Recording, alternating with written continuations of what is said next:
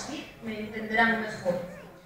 No os sorprenderá, compañeros y compañeras, si os digo que en esta tierra la crisis y sus ejecutores también golpean a las mayorías sociales.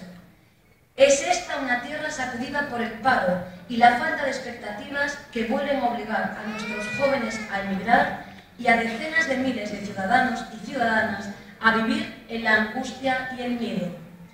Es esta una sacudida por lo que llaman recortes, que no son sino la plasmación de un ataque sin precedentes a los derechos sociales y a los servicios públicos que condenan cada vez más a los ciudadanos a la exclusión social.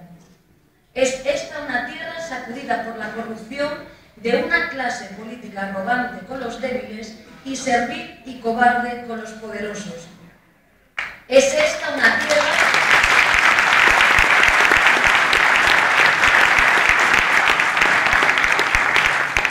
Es esta una tierra sacudida por la avaricia de los bancos que desahucian a las familias. Es, es esta una tierra sacudida históricamente por los ataques a nuestra identidad, a nuestra cultura y a nosa lingua.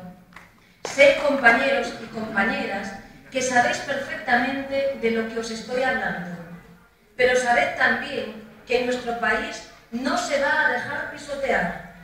Nuestro país en el que sus ciudadanos nos enfrentamos y nos vamos a enfrentar a la crisis y a los corruptos, en el que las familias se organizan para evitar que los bancos les echen de sus casas. Ese país en el que los trabajadores y sus organizaciones practican la huelga como recurso democrático para defenderse, en el que los estudiantes reivindican su derecho a la educación aunque el gobierno le responda con violencia, en el que los ciudadanos y ciudadanas estafadas hacen, hacemos oír nuestra voz. ¿Sabéis? El partido que gobierna aquí tenía hace, hace un año mucha confianza en su programa, un programa que conocéis y conocemos bien. Limitar el déficit y recortar, que es lo mismo que gobernar para una minoría de privilegiados en contra de las mayorías sociales.